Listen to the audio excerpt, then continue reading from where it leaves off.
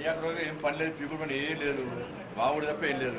గురువు అంటే అర్థం తెలుసా ఫస్ట్ నువ్వే మీ అయ్యని కొడతావు తెలియదు అందరికీ రాత్రి కూడా కొడతావు తెలియదా బాగా డ్రగ్స్ తీసుకొని కొడతావాడు? మీ అయ్య తాగుంటాడు నువ్వు డ్రగ్స్ తీసుకుని మీ అయ్యకు సోగింటే నీకు సోగింటుంది మీ అయ్య చేసిన పని ఏంది?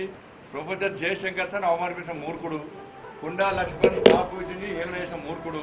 మీకు గురువుల గురించి మాట్లాడాలని తెలియదు తమ గురువు యొక్క గొప్పతనం మీకు తెలియదు ఫాల్తు ముచ్చట్లు మాట్లాడదు అక్షరాలు నేర్పడే గురువు కాదు. అక్షరాలు నేర్పడం ఆయనతో పాటు రాజకీయ ఓనమాలు దిద్దులను కూడా హైందవ సాంప్రదాయం గురువుగా భావిస్తాం మేము.